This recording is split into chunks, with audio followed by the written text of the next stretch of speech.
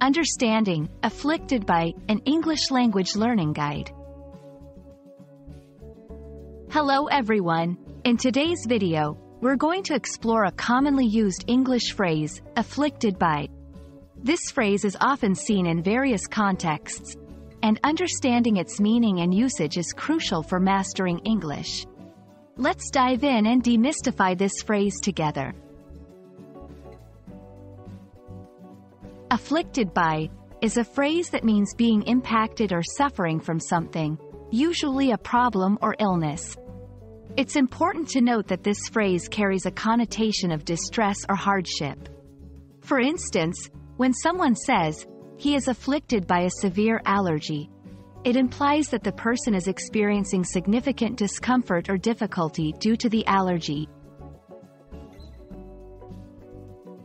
Now, let's look at how afflicted by is used in sentences. Example 1. Many people in the region are afflicted by poverty. Example 2. She was afflicted by a rare disease that doctors could not diagnose. In these examples, afflicted by highlights the severity and negative impact of the conditions, poverty and disease, on the individuals. Understanding the context in which afflicted by is used is crucial. It's often found in formal writing or serious discussions about health, social issues, or natural disasters. For instance, news reports might say, the coastal areas are afflicted by frequent hurricanes.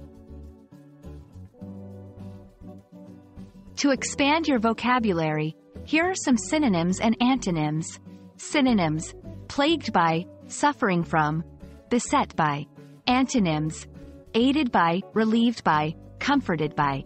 These words can be used in similar contexts but might carry slightly different nuances. I hope this video has helped you understand the meaning and use of afflicted by. Remember, mastering such phrases can greatly enhance your English language skills. Keep practicing, and see you in the next video.